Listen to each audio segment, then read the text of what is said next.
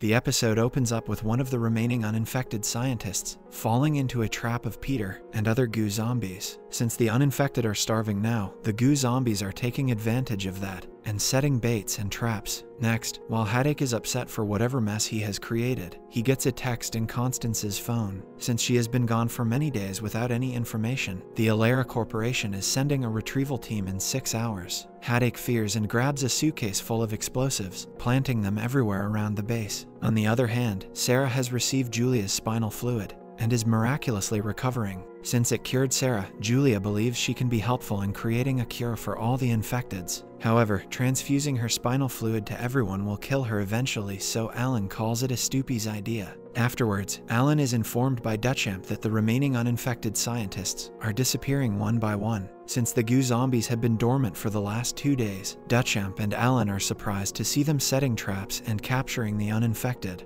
Even more surprising is how the virus is capable of complex thought. Alan explains that the virus has evolved and has created a new kind of organism which has the ability to think just like humans. Later, Alan tells Haddock to be prepared for the goo zombies that will soon attack in bulk. Whereas Haddock informs about Ilaria sending more troops to Abs, they are interrupted by Miksa, who gives an update that there are still 20 uninfected scientists and 5 security personnel. In order to escape from Ilaria, Haddock shares his plan to lure the troops into the base and blow them up with the explosives. Also, he mentions about the bunker in the base, Julia's cabin, which is earthquake resistant. So, before the base explodes, Haddock plans to gather all the survivors in the bunker and escape outside in the snow through the escape tunnel attached with the bunker, while Alan tries to calm Dutchamp and asks him to gather all the uninfected scientists into the sunroom where there are no air ducts and the door is secured. Unfortunately, Peter eavesdrops them and prepares for his own plan. In the meantime, Miksa is mad for not being trusted enough by Haddock to even know about the bunker all these years. However, Haddock tries to win back Miksa's loyalty as he reasserts himself as his dad and asks for his help to take down Ilaria's troop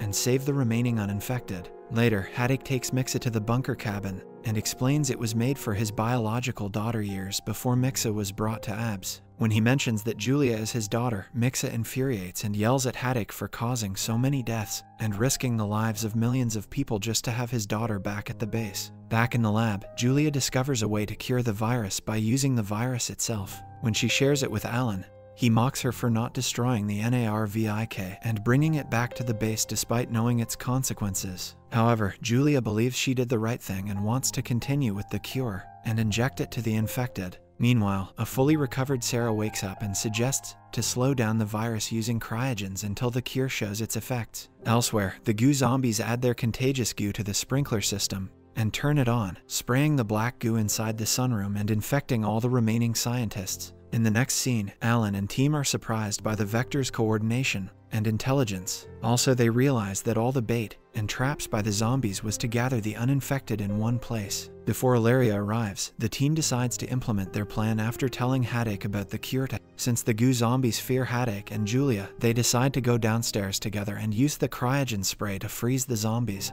and inject them with the cure. As they step ahead, they are encountered by Peter, who freezes after they spray him with the cryo fluid and inject him. While he collapses, the other zombies approach Haddock and Julia. Soon, the father-daughter manage to freeze and inject a lot of infected ones, but few of them manage to flee into the ducts. Fortunately, the goo zombies injected with the cure eventually turn into a normal human. Alan and the team prepare everyone to go down to the bunker. Meanwhile, Alan is concerned about Julia, who is having recurring symptoms. Suddenly, the alarm goes off since Ilaria has arrived outside. While Alan, Miksa, and Haddock go out to delay Ilaria, everyone inside goes to the bunker. The trio go into the snow and find that Ilaria has set explosives in a decoy attack with drones. When there's an explosion, Haddock is injured protecting Miksa, since the trio are busy outside. The real attackers of Ilaria paradrop into the base. Soon, everyone locks themselves into the bunker including Haddock, Alan, and Miksa. Haddock wants to detonate early because the attacker named Scythe of Ilaria is an assassin and is the worst of all the silver-eyed immortals. Scythe has arrived at the base with his two female minions. While the remaining cured scientists are traveling to the bunker in the elevator, Scythe slaughters them all. Back in the bunker, Sarah gets constant headaches and ultimately turns into a silver-eyed immortal after getting Julia's spinal fluid.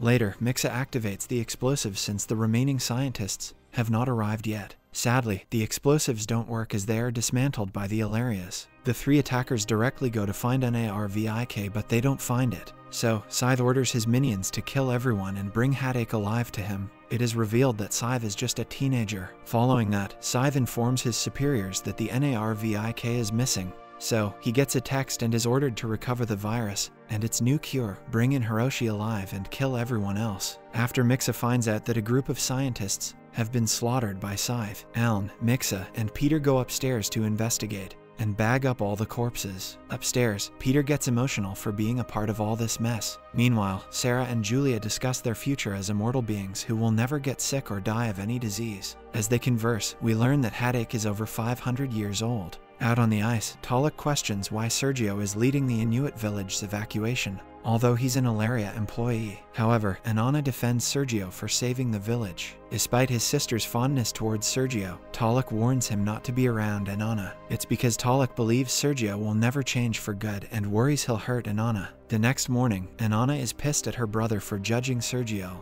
Back in Abs, Haddock and team look at CCTV footage of the scythe. Haddock reminds everyone that even though he looks 15, he is centuries old and is experienced at slaughtering. Elsewhere, Scythe and his minions also go through some CCTV footage and find the footage of Haddock killing Constance. Turns out Constance was Scythe's mother and now he is enraged to avenge her. Just then a big suitcase-like box starts to thump and Scythe orders his minion to slow her down. It seems like there's a human inside. Meanwhile, Scythe and his minions are distracted by another footage of Alan.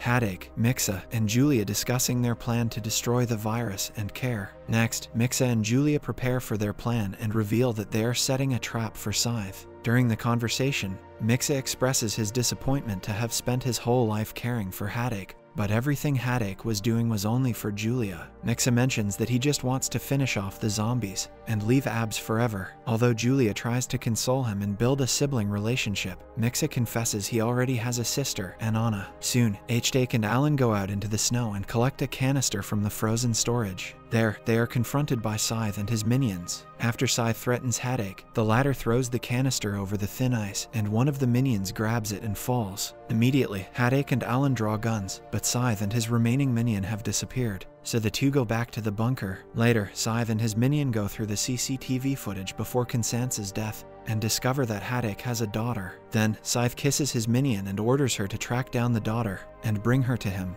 While Haddock, Julia, Alan, and Miksa are returning to the bunker, the elevator stops and goes dark. When the power comes back, Julia is missing. Haddock realizes that Scythe has abducted her and suggests to wait and follow his rules without provoking him so that he doesn't hurt Julia. Upon reaching the bunker, Alan insists on finding Julia and fighting Scyther. However, Haddock suggests they should wait for Scythe's demands and figure out what he's planning. Just then, Scythe sends a message asking Haddock to show himself up. Along with that, the psychopath kid has sent Julia's severed finger in the can. Shortly, a panic ensues. When Haddock decides to go to Scythe, Miksa stops him, quoting his own words back to him about acting while angry. Since the note told Haddock to go to isolation, or he will cut more off Julia, Miksa tells his plan to infuse halothane gas through the vents, which will knock out Scythe and his minions. So, Peter and Alan decide to go into the ducts to open them. Elsewhere, Julia wakes up to find her finger severed, and an explosive around her collar. Soon, Alan and Peter crawl around the vents and open them. Surprisingly,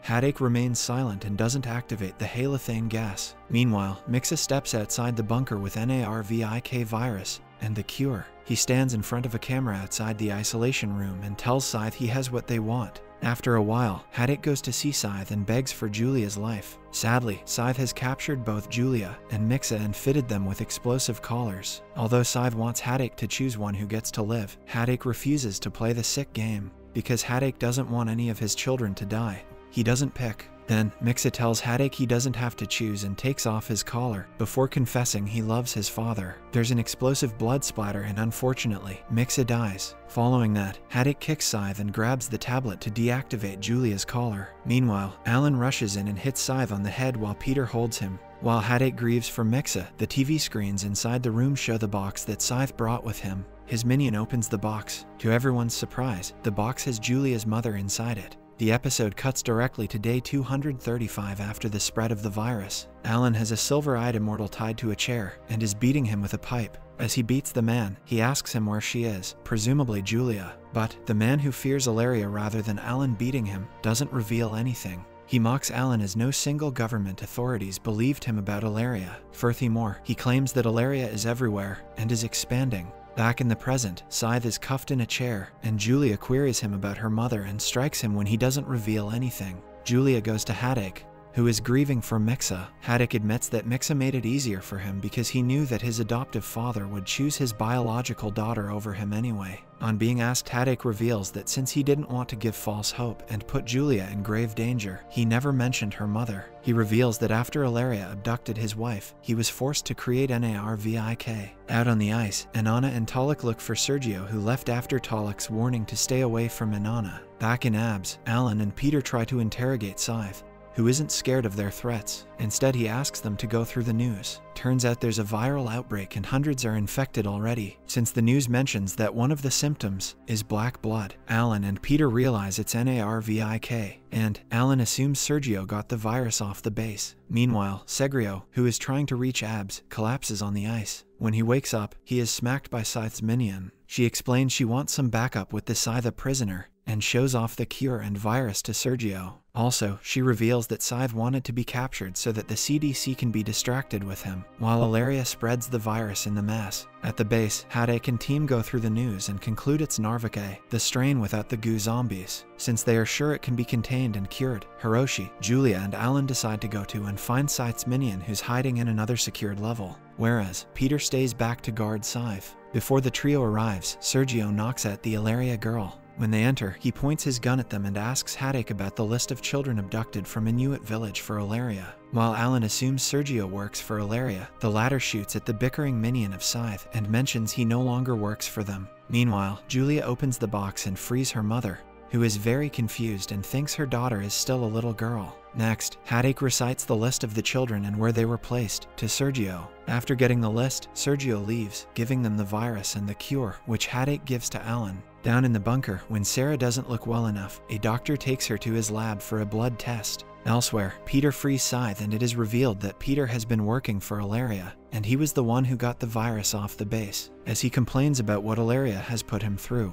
He hands Scythe a detonator in order to make it look like Scythe escaped, he knocks out Peter by smashing him to the door. Meanwhile, Julia's mother comes to her senses once she's off the drugs. She recognizes Julia and regrets not leaving Haddock and his ambitions sooner. Also, she is happy to meet Alan. Soon they are joined by Haddock, who hasn't aged at all. Suddenly an alarm goes off as Tulok, Anana, and Sergio arrive at the base to help. They've brought enough snowmobiles to evacuate the base. After Haddock tells them about Miksa, Anana breaks down. Meanwhile, an injured Peter arrives and tells everyone that Scythe has escaped. Haddock fears, but Alan wants to take the chance and evacuate the base. The two of them discuss Scythe's weakness in front of traitor Peter. During the evacuation, Alan gives the virus and the cure to Julia, saying the world's fate is in her hands now. As they bid goodbye, Julia kisses Alan, which infuriates Peter who has been spying on them from a corner. Next, we learn that Sarah's blood test results have arrived and she is pregnant. Now that everyone's about to leave the base, Scythe confronts them and blows the bomb, causing the base to collapse with many casualties. Afterwards, when Alan wakes up unhurt, he finds Julia at knife point by Scythe. An injured Jane approaches Scythe and begs him to free Julia, but he slices her throat with his knife and kills her. Then, Scythe drags Julia to an Ilaria helicopter. Before the helicopter takes off, Alan throws Constance's head inside. While Scythe is distracted, Alan gets a chance to get in the helicopter. However, when Scythe turns around and is about to stab Alan, Julia hands him the virus and cure and pushes him out of the helicopter. Soon, the helicopter flies with Julia abducted by Scythe. The episode again cuts off to 235th day, where Alan is reading a French newspaper that has news about the outbreak of NARVIK. He gets an Ilaria card with his cafe bill and makes a cross symbol on the wall behind him with a chalk. Later, he meets Peter and tells him he has found Julia and asks him to meet at a checkpoint. Afterwards, Alan stands dot next to Ilaria building. Inside, in a board meeting, a whole room of silver-eyed people waited for their leader. The episode ends when the leader arrives in the meeting hall with a prosthetic finger, and it turns out to be Julia. Subscribe and hit that like button to help our channel grow. Turn the notifications on so you won't miss any of our new videos. Thanks for watching.